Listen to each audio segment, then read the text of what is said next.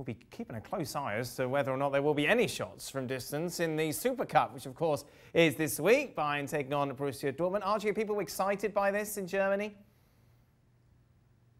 Yes, ish. because there's a lot of.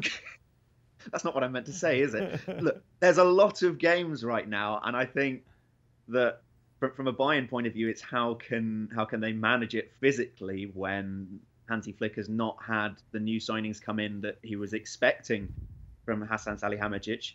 It is an exciting prospect, particularly from a Dortmund point of view, because you know they're going to get more space to run into uh, than they will again than they would have got against Augsburg at the weekend.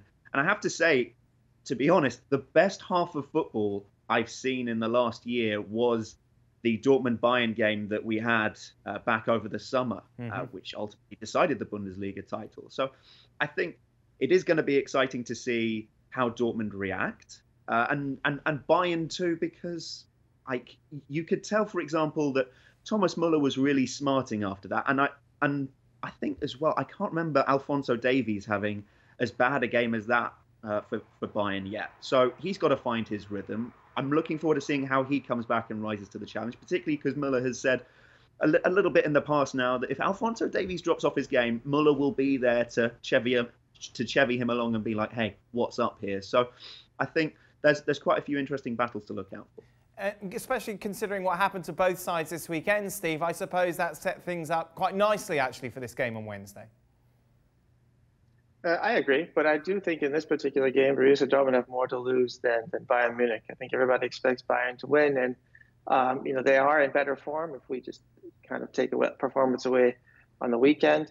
Um, and I, and I do expect Bayern to win this game, um, and and quite handily. Although you know Archie have a point to say that Dortmund will have more room on the counter attack. They are extremely good on the counter attack. They have their players suit that. It's more of a younger squad, and they have more creativity and freedom um, to to break down the creativity on the counterattack.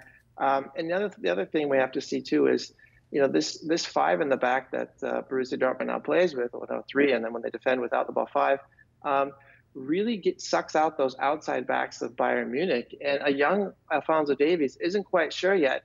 Do I go? Do I hmm. stay? And that space in behind him is being exposed. Um, it was against Hoffenheim, and if, if Borussia Dortmund do their homework right, I'm sure they'll look at that and, and try to send some players into that open space. Well, Archie mentioned it, Bayern Munich maybe not making the reinforcements to the squad that they were hoping to. Sergiño Dest, of course, heavily linked to a move to Bayern, however, heading to Barcelona, according to reports. Steve, do you like this move for him?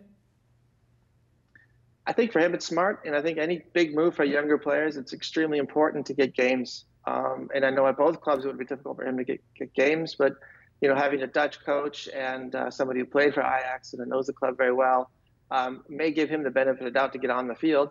You know, once he's on the field, it's up to him to stay there. But I do think it's a good move. Um, great for American soccer, and obviously uh, great for Sergiño Dest.